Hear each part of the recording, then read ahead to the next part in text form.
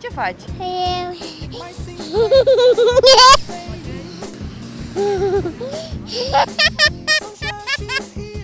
Știi ce înseamnă fericirea? Ce înseamnă fericirea? Adică să ne fericim. Cum adică?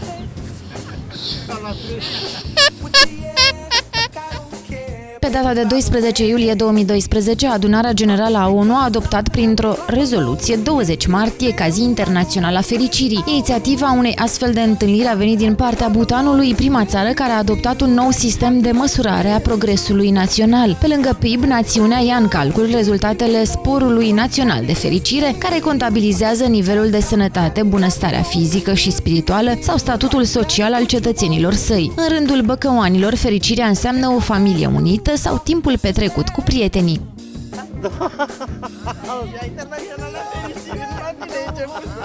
Ce înseamnă fericirea pentru dumneavoastră?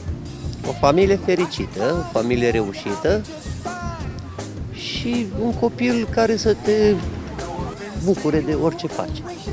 Să mă joc cu copiii, să iau note bune și să, să mă bucur că sunt cu familia. Pentru mine fericirea cam s-a dus, tineretul să fie fericit.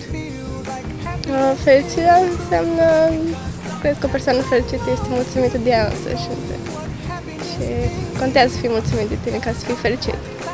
ONU recunoaște importanța fericirii și a bunăstării pe care le consideră țeluri universale și aspirații de seamă în viața oamenilor de pretutindeni, precum și importanța integrării acestora în obiectivele de politici publice.